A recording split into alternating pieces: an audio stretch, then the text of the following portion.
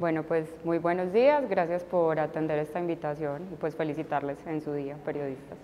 Eh, bueno, eh, le queremos contar a la ciudad que estamos avanzando eh, ya pues de manera muy importante con la implementación del proyecto Inversión en Bienes de Capital Físico para Mujeres. ¿En qué consiste este proyecto? Este proyecto fue pensado desde la formulación del Plan de Desarrollo Medellín Futuro, vinculándose a las apuestas del movimiento social de mujeres, porque las organizaciones sociales de mujeres y el movimiento ha sido muy insistente en poner en el centro de la agenda todo el tema del cuidado y pues la pandemia todavía pues generado una necesidad mayor alrededor de este tema. Entonces la alcaldía de Medellín se vincula a esa lucha histórica que ha tenido el movimiento social de mujeres poniendo en el centro de la agenda también de la Secretaría de las Mujeres el tema de cuidado con dos proyectos estratégicos. Inversión en bienes de capital físico, que lo que busca es reducir el tiempo que dedican las mujeres al trabajo doméstico y de cuidado no remunerado, porque las mujeres son las que han cargado pues, con esta carga histórica dentro de los hogares. Entonces la apuesta es que con un proceso pedagógico que podamos hacer y la visibilización, sobre todo desde el reconocimiento de este trabajo que hacen las mujeres, podamos reducir con una solución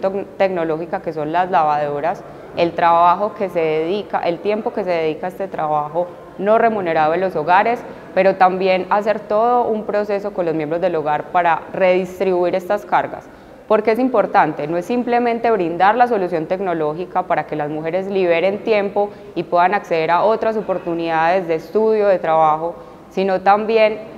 revertir esa carga histórica de construir eh, esos estereotipos de género que han hecho que sean las mujeres las que asuman estas cargas y que sean también los hombres y los otros miembros del hogar los que se encarguen de esto. Realmente es una apuesta por la transformación cultural que busca eliminar las violencias de género, pues que es realmente el misional también de la Secretaría de las Mujeres, Creemos que la violencia económica es algo que genera ciclos de violencia y que llega incluso a escalar a violencias tan dramáticas como el feminicidio. Entonces, realmente esta es una apuesta por una transformación estructural y de, largo plazo, porque la construcción de estos este, estereotipos de género va a hacer que efectivamente podamos avanzar hacia la igualdad entre hombres y mujeres. El sistema de cuidado, que es el otro proyecto estratégico, busca generar un mecanismo articulador de la oferta de cuidado. Justo en este momento estamos con la Universidad Nacional haciendo, terminando el diagnóstico de las necesidades tanto de cuidadoras, porque las mujeres también asumen esta carga de cuidado,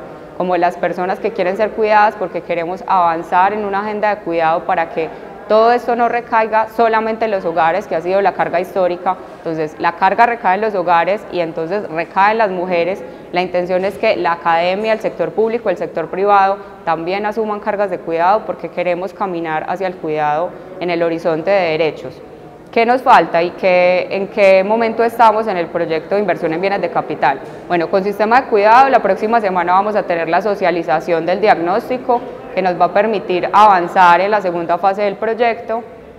Eh, la idea es que el compromiso dentro del plan de desarrollo es que el sistema de cuidado quede diseñado, vamos a avanzar en un 75% este año ya teniendo el diagnóstico en el diseño de ese mecanismo articulador y con el proyecto de inversión en bienes de capital, pues en este momento vamos a iniciar con la caracterización, vamos a hacer la focalización de las mujeres que serían beneficiarios del proyecto, vamos a actualizar esa caracterización porque según el CISBEN 3, con datos del 2020, 138 mil mujeres que son jefas de hogar no cuentan con soluciones tecnológicas para el tema del lavado, pero sí con acueducto, energía y demás. Entonces, la intención es llegar a esos hogares, transformar la vida de estas mujeres en condición de vulnerabilidad, pero también pensando en que esas cargas se redistribuyan dentro de los miembros del hogar. Hemos estado en permanente articulación pues, con varias organizaciones e incluso la asesoría de expertas para el sistema vino Karina Batiani asesorarnos, que es experta en cuidados en América Latina.